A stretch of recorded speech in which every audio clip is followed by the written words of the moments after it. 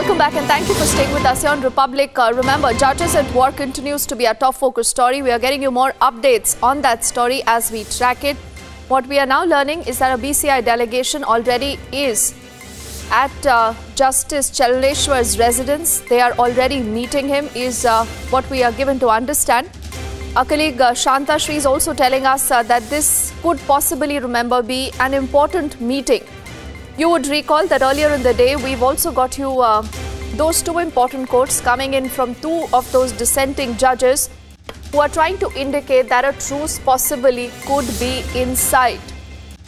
And uh, a BCI delegation, as I speak, is at the residence of Justice Chemaleshwar. What really could they be putting out uh, is important. Uh, we'll await more details. And standing by to uh, also get connected with our colleague uh, Shanta Shri, who's uh, telling us this latest information that is developing uh, by the minute. And from now till about tomorrow, remember when the court convenes, there could be a lot more important uh, parlays and conversations that uh, could take place.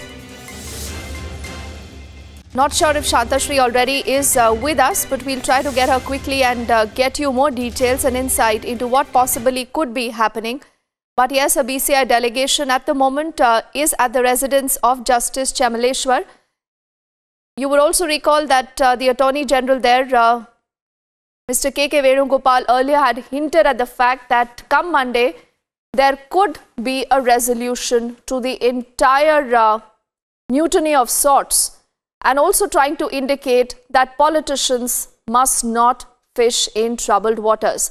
That is a straight message uh, that we've also got uh, from two of the dissenting judges. In fact, uh, Justice Ranjan Gogoi, the man that you see there on your screens, has put it as clear as this, and I'm quoting from what we've heard from him, where he says that there is no crisis. And why also the other justice asked that should an outsider get into a battle that is only and only looking at a resolution sooner rather than later. That then we believe is a message uh, for the Netas, in particular the Congress party, the left remember, who has been trying to fish in troubled waters, who's been trying to allude to motives and also trying to indicate that it's the executive now trying to interfere in the working of the judiciary. Those are all kind of aspersions that remember do not go down well when you talk of a united judiciary, something that uh, Republic is uh, putting forth the demand for. And at the moment, these are live images is uh, what we are given to understand. This is just outside Justice Chamaleshwar's uh, residence.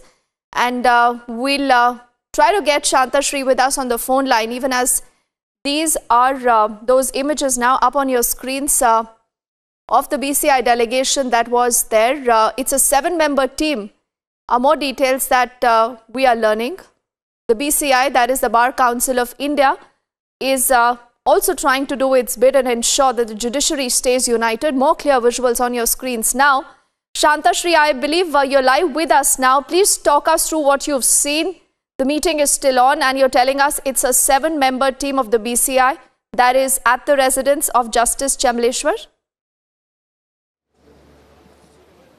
Exactly. It's a seven-member team led by Mr. Manan Kumar Mishra who came inside uh, the residence of Justice Chelameshwar. Yesterday, they did have a meeting and they did uh, recommend that uh, a seven-member delegation will come to his residence today and there will be a meeting uh, which will be held, which is underway currently regarding this entire uh, this entire matter of judges being at war. We know that tomorrow there are very uh, various important cases lined up tomorrow, and we know that there is going to be a closed door hearing at the Supreme Court where the Chief Justice of India is going to prevail, and of course there are four other judges is also going to be there. So tomorrow, because of tomorrow, there are so many important cases lined up, and such a meeting is uh, is very much important to resolve this entire matter.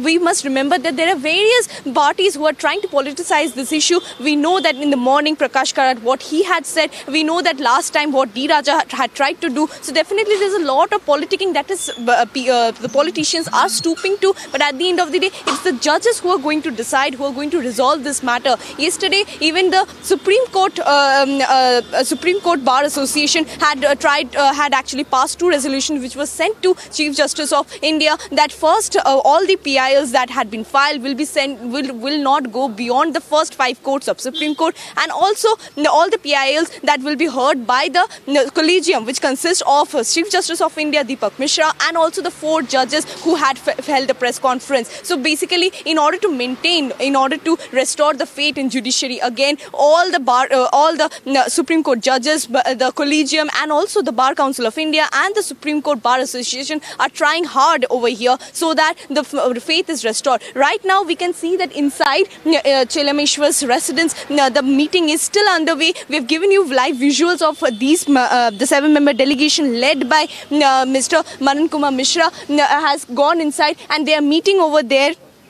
And uh, this entire uh, once they come out of course they're going to spill the beans that what actually took place uh, what actually went underway and how this matter can be resolved how there can be a solution to this. There's, i also want to take this across to our colleague atul who's reporting from outside the cji's residence also in delhi.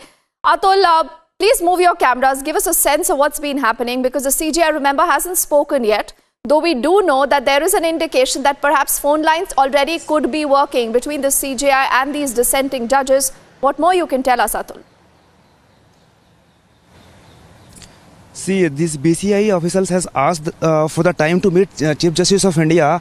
what the sources are telling me that BCI, uh, the officer of the BCI has met uh, two of the judges at their house this morning, but uh, they have not disclosed their names. They want to, uh, they want uh, Chief Justice of India to uh, resolve this issue. Uh, they, uh, they also have said that BCI wants this matter should be resolved without any interference, without any political interference, or this four judges should talk to the Chief Justice of India. All they right, also yes, have, uh, that's the uh, message they also have said that all the judges should. And I also want you.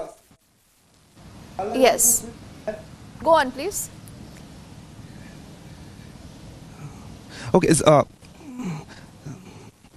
uh, this uh, uh, all the uh, BCI officer has told the judges that they should sit and resolve this matter, and BCI wants that uh, the important PILs should be taken up by the collegium.